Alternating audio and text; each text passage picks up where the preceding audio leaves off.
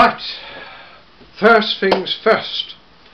Then go and keep watch. I don't want to be disturbed by any Daleks that might still be roaming around while I'm uh, involved in uh, delicate negotiations. Oh no, Polly, you could stay there. I would appreciate your uh, moral support.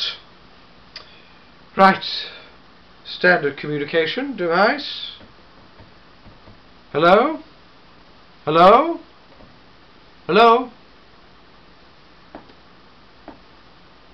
Dalek Mothership, come in please. Come in please. Ah, there you are. This is the Doctor, President-elect of the High Council of Time Lords, Keeper of the Legacy of Rassilon, Defender of the Laws of Time, Protector of Gallifrey. I call upon you to surrender the Hand of Omega and to return to your customary place and time. Now, my dear, we wait.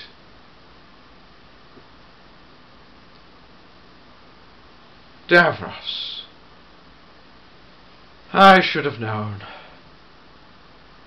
I see you've discarded the last vestige of your human form.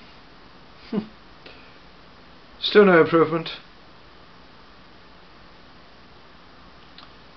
Will you return the hand of Omega or not?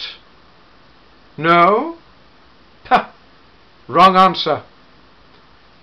Remember, every time our paths have crossed, I have defeated you. And Davros, the hand of Omega is not to be trifled with. I sincerely doubt you are capable of handling the technology.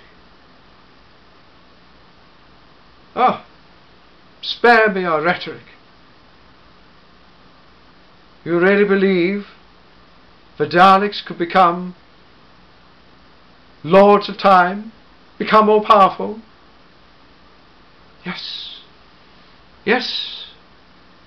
I can just see it now. Crush the lesser races. Conquer the galaxy. Unimaginable power. Unlimited rice pudding. Etc. Etc. Oh, Davros. You exhaust me. You're like a broken record. You know, you may wipe out the odd civilization, enslave your occasional culture, but it doesn't detract from the basic, fundamental fact of your own impotence. It's all right, Polly. I know what I'm doing.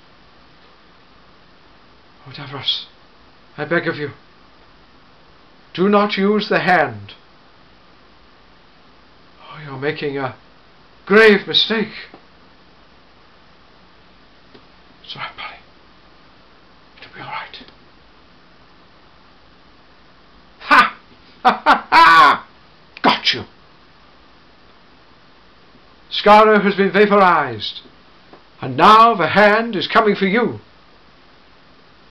Did you think I would let you have control of the hand of Omega? Really? Hmm?